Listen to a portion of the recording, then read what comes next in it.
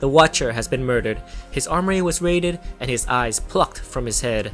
Summoned to the crime scene on the blue area of the moon by Thor, Captain America, Wolverine, Black Widow, and Nick Fury opened an investigation to track down the Watcher's killer.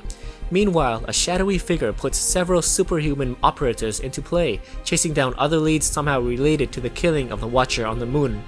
In Manhattan, the Thing and Spider-Man did battle with a rampaging One, only to discover that the creature had somehow gained sentience.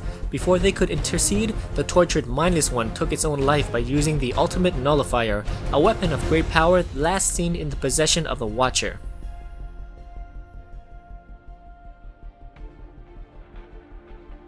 Somewhere underneath the earth, Ant-Man, Emma Frost, and Black Panther investigates a graveyard of giants and monsters, seeking for clues to the Watcher's killer. Ant-Man discovers their first clue. New York City, Nick Fury circles around a building while connected to the Avengers chasing down a mindless one. Suddenly, the suspect crashes out of the window and lands backseat on Fury's hover vehicle. Fury takes a shot at the mindless one and the defenses kicks in wrapping the suspect in place. Fury jetpacks out of the vehicle and shoots the gas tank causing his ride to blow up along with the mindless one. Avengers Tower. Tony Stark and Bruce Banner acts as HQ to the investigation. Banner requests that Tony puts on some pants when they are working. Tony sarcastically says, We're hunting down a murderer here, Bruce, and you're talking about pants? Try to be more professional. Somewhere far beyond the reach of man, Doctor Strange and the Punisher seeks answers in a strange place.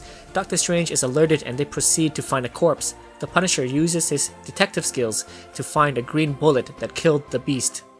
Back on Earth, in an abandoned warehouse, a mindless one grows restless. Two strangers discuss their next move. The man holds the eye and states that the Avengers might be coming sooner rather than later. A third stranger cries in agony on a bed, but suddenly Iron Man's voice announces the presence of the Avengers and demands the three strangers to surrender quickly.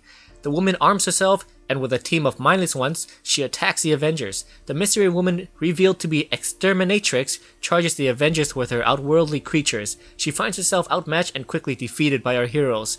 Meanwhile, the two other mystery men arrives at the entrance and welcomed by a horde of superheroes demanding for their surrender. Captain America demands the stranger to put the eye down and stand away. He replies by stating that he isn't the murderer they are looking for. He threatens the heroes by stating that the eye will explode. As he unmasks, it is revealed that he is the Orb, a Z-list villain with an eye for a head, and the man who just changed the world.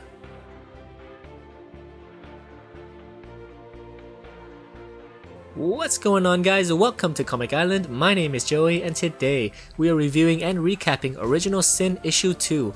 Alright, so I skipped over Issue 1 just because I was weary about this big event, but after reading Issue 2, I had to start reviewing it. So just to recap, in Issue 1, the heroes find the Watcher murdered on the moon, his eyes are torn out and they don't have any leads so Fury opens up into the investigation.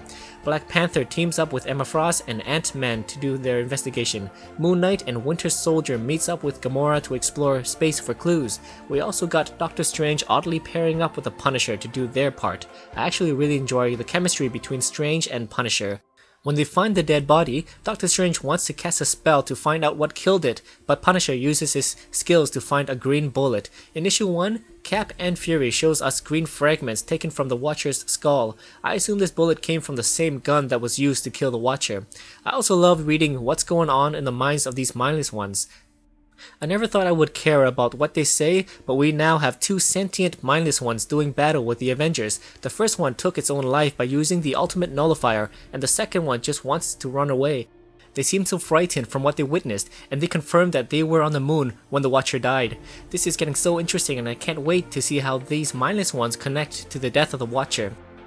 So during the press conference, the minds behind this story arc came out and said that many heroes' lives will get turned upside down, but two heroes are confirmed to be heavily affected. Captain America will learn that someone close to him has tampered with his memories. This will have a seismic effect on his relationship with this person. It is also confirmed that a second person was bit by the radioactive spider that bit Peter Parker. We already know her name will be Silk and will have similar powers to Parker, but will she be friend or foe?